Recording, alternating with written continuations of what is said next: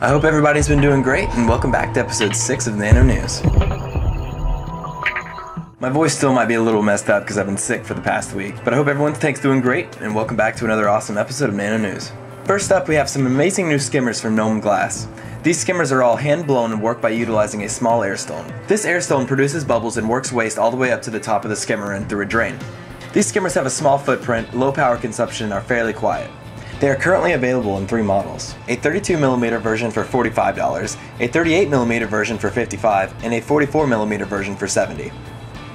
You can check out these awesome skimmers at gnomeglass.com. If you're looking for a new 10 gallon and possibly have a spare $6,500 laying around, then you're in luck. You should check out this bizarre aquarium made by Dutch artisans.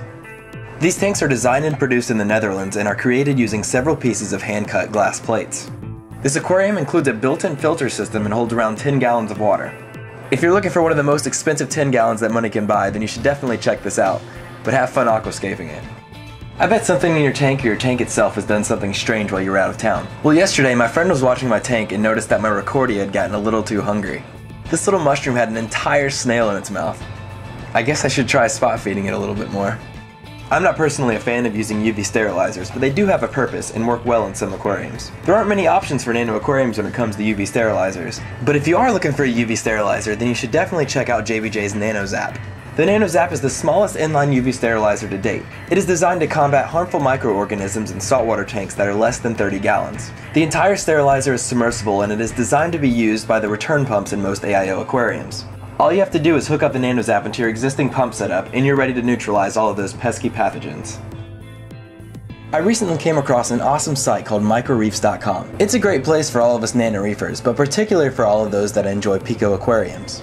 The site's homepage even features a simple guide on how to set up one of their tanks with easy to follow pictures. The site also offers a unique look at their products in use under their video and pictures section.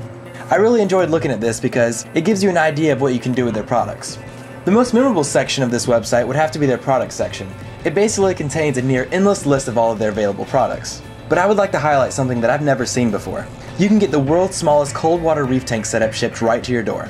The tank contains a 2 gallon acrylic aquarium with a blue or black background of your choice, a modded AquaClear 20 filter that connects to a Coolworks micro chiller that also comes with a controller. The setup includes an Odyssey temperature gauge to calibrate the controller and a Coralife Mini T5 fixture that is reef ready. You can get all of this for $29.99 with free shipping. If that didn't impress you, then listen to this. Mike, the owner of Micro Reefs, has told me that if you visit their site after watching this video, and you send him an email saying that you came from Nano News, then he will grant you a 10% discount off your first order with Micro Reefs. You should definitely jump on this and check out the wide variety over at microreefs.com. I'm sure many of you are familiar with lionfish, but you may not have seen this unusual way that they disorient their prey. In this video, you'll see a lionfish do something pretty peculiar. He's actually blowing water at that fish. I guess he's trying to scare it into his mouth.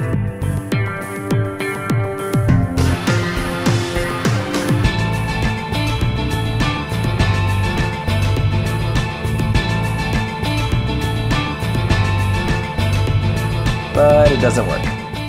In this part, they actually use a blue dye so you can see just how effective the lionfish is at spitting water.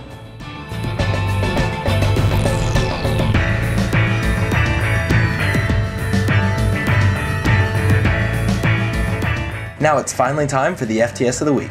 This week's FTS is of Steely 185's 17.4 gallon rimless reef. His aquarium was manufactured by Mr. Aqua and it is lit by a single Kessil 15K ocean blue LED light.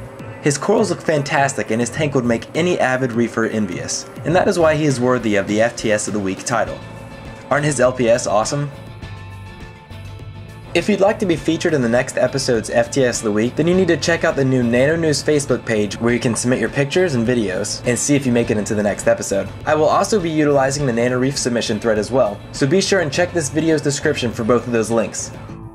Well, that's all I got for episode 6 of Nano News. Feel free to subscribe to my channel so you're automatically notified every time I make a new video.